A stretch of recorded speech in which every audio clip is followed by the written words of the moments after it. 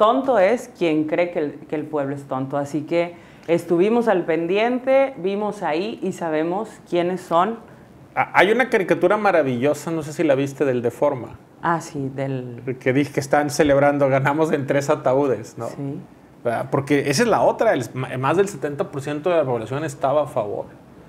Sí, por ejemplo, reforma. aquí el PRD, el PRD no tiene registro y no, No, no tiene, tiene diputados federales, Sí, pero, pero a nivel nacional, o sea, los, los encuadraron. que Yo- son 15.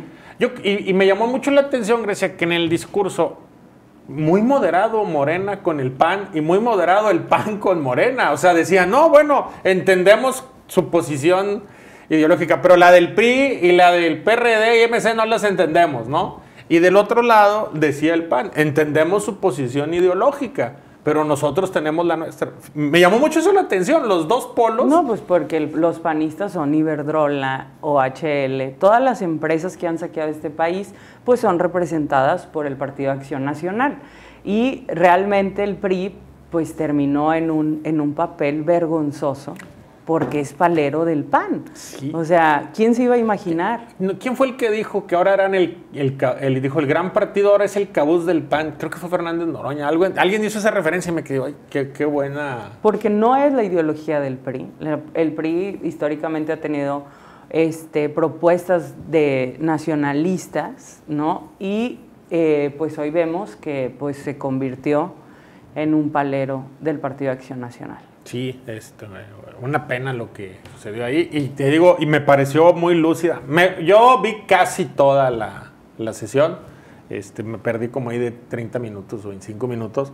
Al final ya se pusieron en asuntos personales, pero vi casi toda la sesión y vi, y vi cómo se fue deteriorando el ánimo de la sesión, porque al principio mucha formalidad, respeto, pero se empezaron a calentar, a calentar, a calentar, y bueno, terminó ya al final en la pasión, porque la política es pasión. No, pero realmente esto lo hemos visto porque esta sesión quisiera confrontar dos proyectos de nación, ¿no? el de la cuarta transformación y el de, el de siempre, ¿no? el del saqueo de este país, eh, no hubo violencia. No, Y eso la verdad también pues hay que, hay que celebrarlo porque hemos visto episodios lamentables en, el, en la Cámara de Diputados y en esta fueron obviamente discursos, sí se calentaban Fuertes. los ánimos, pero siempre estuvo eh, eh, o vimos una tranquilidad en el sentido de que sí hablaban, sí gritaban, sí ex- exponían de manera más fuerte este, consignas, pero no pasó de ahí.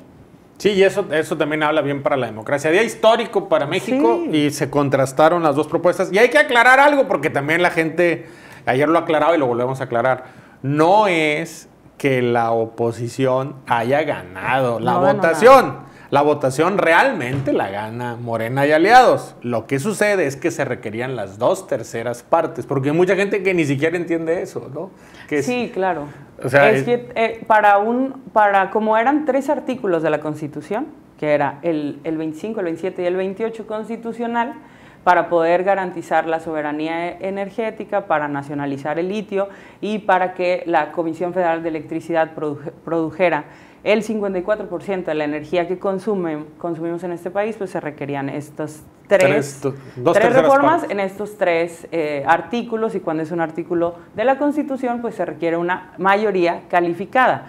Se ganó la votación con 275 votos, eh, pero no es una mayoría calificada. Faltaron 50 y casi 60 votos, algo así. Ajá. De, de perdido por la asistencia. Pero bueno, también aclarar eso, ¿no? Pero ya me llamó Sí. la atención